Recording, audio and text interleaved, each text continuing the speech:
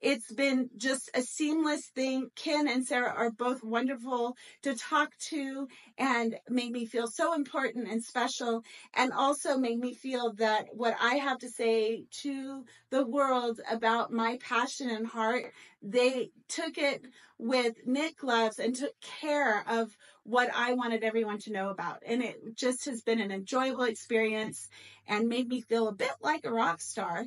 And um, so I am very grateful for what they do and how they uh, care so much about my love and passion.